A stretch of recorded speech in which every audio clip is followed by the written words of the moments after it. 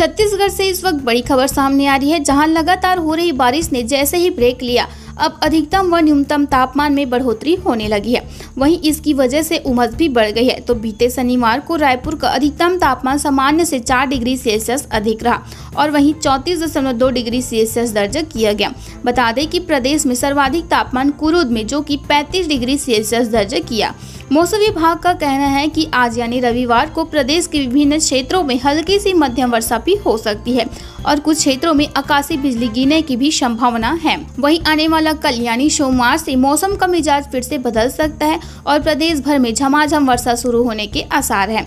इनके अलावा पिछले कुछ दिनों से प्रदेश में बारिश थम गई है, जिससे तापमान बढ़ गया है और उमस के कारण लोग परेशान हो रहे हैं और ऐसे स्थिति आ गई है की दिन में लोग एसी कूलर के बिना नहीं रह पा रहे हैं। इनके अलावा मौसम विभाग की अनिश्चितता का प्रभाव फ़सलों पर भी पड़ने लगा है। वहीं कृषि वैज्ञानिकों का कहना है कि अभी धान की फ़सल को पानी की आवश्यकता है।